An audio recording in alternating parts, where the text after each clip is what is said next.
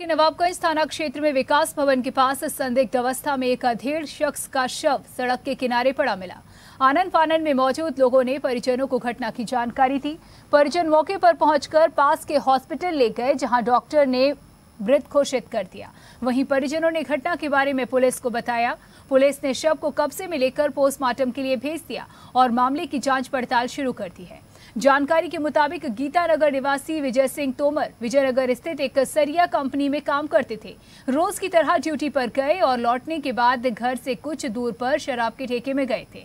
और ऐसा कहा जा रहा है कि किसी ने लूट पाट कर शव सड़क के किनारे फेंक दिया। परिजनों की माने तो विजय के शरीर पर जलने के निशान हैं।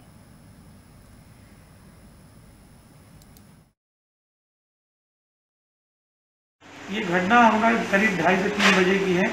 तब किसी के वहाँ जो दुकानदारों द्वारा सूचना दी गई कि आपके भाई वहाँ पड़े हुए हैं, हम लोग तुरंत पहुँचे वहाँ पर। पहुँचने के बाद देखा कि उनके पूरा शरीर काला पड़ चुका है और उनको बड़ी तेज़ी छाले पड़े हुए हैं, बड़ी बुरी तरह से उनकी हालत थी वहाँ। पर उसी समय उनकी डेथ हो चुकी थी। हम लोग जैसे जैसे घर लेके आए, लखनपुर हॉस्पिटल ले गए, वहाँ उन्होंने मृत घोषित कर दिया। उनके पास करीब उनकी तनख्वाह पड़ी थी तीस हज़ार रुपये। और इसके बाद जब उन्होंने कंप्लेन की तो पुलिस सीमा विवाद में उलझाए रही।